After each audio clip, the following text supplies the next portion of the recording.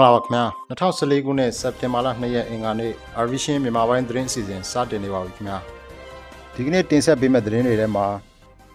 သမရဦးသိန်းစင်ရဲ့ခီးစဉ်ကိုဥရောပရောက်မြန်မာဒီမိုကရေစီရေးလှုပ်ရှားသူတွေကကန့်ကွက်ဆန္ဒပြဖို့စီစဉ်နေတဲ့အကြောင်းရခိုင်ပြည်နယ်တွင်းမှာရှိတဲ့ဒုက္ခသည်စခန်းတွေကမွတ်စလင်တွေကိုပြန်လည်နေရာချထားပေးမယ့်အစီအစဉ်ကိုရခိုင်တွေကကန့်ကွက်နေကြတဲ့သတင်းမြေပုံမြို့နယ်ဒုက္ခသည်စခန်းတွေကမွတ်စလင်400ကျော်ကို နိုင်ငံသားပြုခွင့်ရသူအဖြစ်မြို့နယ်အစင်မှတ်ချက်ပြုလိုက်တဲ့တဲ့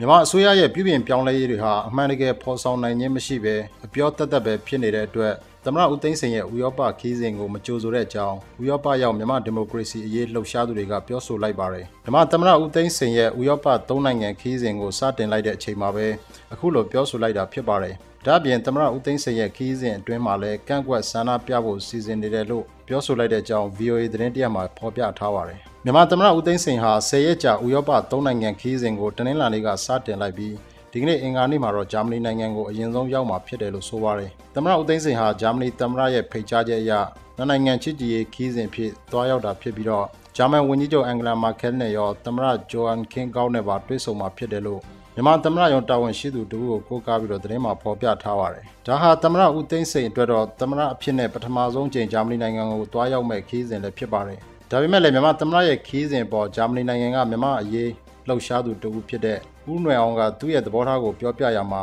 သမရဦးသိန်းစိန်အစိုးရဟာပြည်ပြင်ပြောင်းလဲရေးတွေလုပ်နေတဲ့ဆိုပေမဲ့တိုင်းပြည်မှာပြည်သူလူထုကငတ်ပြတ်ပြီးဆင်းရဲနေစေဖြစ်တဲ့အတွက်ကြောင့်မလို့ ဒီခီးစဉ်ကိုသူတို့အနေနဲ့မကြိုးစိုးနိုင်မကြိုးစိုးနိုင်တဲ့အကြောင်းဆန္ဒပြရမှာဖြစ်တဲ့အကြောင်းပြောပါတယ်မြန်မာအစိုးရကပြည်ပြင်ပြောင်းလဲရေးတွေလှုပ်ဆောင်နေတဲ့ဆိုပေမဲ့လည်းမြန်မာနိုင်ငံသားတွေအတွက်အမှန်တကယ်လိုအပ်နေတဲ့ပြည်ပြင်ပြောင်းလဲမှုတွေကိုတော့လှုပ်ဆောင်ပေးနိုင်ခြင်းမရှိသေးဘူးလို့လည်းသူကထောက်ပြပြောဆိုပါတယ်သမရဦးသိန်းစိန်ဟာဂျာမနီနိုင်ငံကနေတဆင့်ဆွစ်ဇာလန်နဲ့နယ်သာလန်နိုင်ငံတွေကိုတွားရောက်မှာဖြစ်ပြီးတော့နယ်သာလန်နိုင်ငံမှာတော့မြန်မာအရေးလှုပ်ရှားသူတွေကသမရဦးသိန်းစိန်ရဲ့ခီးစဉ်ပေါ်ကန့်ကွက်ဆန္ဒပြဖို့စီစဉ်နေတယ်လို့အမျိုးသားဒီမိုကရေစီအဖွဲ့ချုပ် လွတ်မြောက်နယ်မြေနယ်သာလန်ရုံးတာဝန်ခံဦးလာမြတ်နိုင်ကပြောဆိုတဲ့အကြောင်းသတင်းမှာဖော်ပြထားပါတယ်2011ခုနှစ်ကအယက်သားအစိုးရအသစ်အဖြစ်ပြုပြင်ပြောင်းလဲရေးတွေလှုပ်ဆောင်လာခဲ့ပြီးတဲ့နောက်မြန်မာအစိုးရဟာဥရောပအပါအဝင်အနောက်နိုင်ငံတွေနဲ့ထိတွေ့ဆက်ဆံမှုတွေပိုများလာခဲ့ပြီးတော့အမေရိကန်နဲ့ဥရောပသမဂ္ဂနိုင်ငံတွေကလည်းမြန်မာနိုင်ငံအပေါ်ဒဏ်ခတ်ပိတ်ဆို့ထားမှုတွေကိုရှော့ချလာခဲ့တာဖြစ်ပါတယ်ခင်ဗျာရခိုင်ပြည်နယ်အတွင်းမှာရှိတဲ့ဒုက္ခသည်စခန်းတွေကမွတ်စလင်တွေကို မွတ်စလင်ကျေးရွာတွေမှာခွဲပြီးတော့နေရာချထားပေးမဲ့ရခိုင်ပြည်နယ်အစိုးရအဖွဲ့ရဲ့အစီအစဉ်ကိုလက်မခံကန့်ကွက်တဲ့အကြောင်းစစ်တွေမျိုးအခြေစိုက်တန်ခအဖွဲ့အစည်းတွေအရက်ဘတ်လူမှုအဖွဲ့အစည်းတွေနဲ့မြို့မိမြို့ဖတွေကနိုင်ငံတော်သမ္မတထံစာရေးသားတင်ပြသွားမယ်လို့ RFA သတင်းအရသိရပါတယ်စစ်တွေမျိုးခံရခိုင်နေနေနဲ့ရိုဟင်ဂျာတွေကိုထိန်းသိမ်းစခန်းထဲမှာပဲထားပါအစိုးရစီကမှတ်တမ်းမှတ်ရတပ်တဲ့အထောက်ထားတစုံတရာရှိတဲ့လူတွေကိုအခုလောလောဆယ်လက်ရှိနေရာတွေမှာယာယီထားပါ ကျန်တဲ့သူတွေကိုတော့ထိန်းသိမ်းစခန်းထဲကိုပို့ပြီးစခန်းထဲမှာထဲဖို့လူများနေပြီဆိုရင်တော့အဲ့ဒါကိုပြည်ထောင်စုမြန်မာနိုင်ငံထဲမှာရှိတဲ့လုံခြုံရေးရတင့်တော်တဲ့တခြားတိုင်းနဲ့ပြည်နယ်တွေကိုလည်းခွဲပြီးပို့ပေးပါဆိုတော့သမရာကြီးစီကိုပို့မဲ့မေတ္တာရက်ခံချက်ပေါ်မှာအစည်းအဝေးပြုလုပ်ပြီးဆုံးဖြတ်ခဲ့ကြတာဖြစ်တယ်လို့လည်းဆိုပါတယ်ရခိုင်ပြည်နယ်အစိုးရကဒုက္ခသည်စခန်းအသီးသီးမှာရှိတဲ့မွတ်စလင်တွေကိုမွတ်စလင်ကျေးရွာတွေမှာနေရာခွဲချထားပြီးတော့1982ခုနှစ်မြန်မာနိုင်ငံသားဖြစ်မှုဥပဒေနဲ့အညီ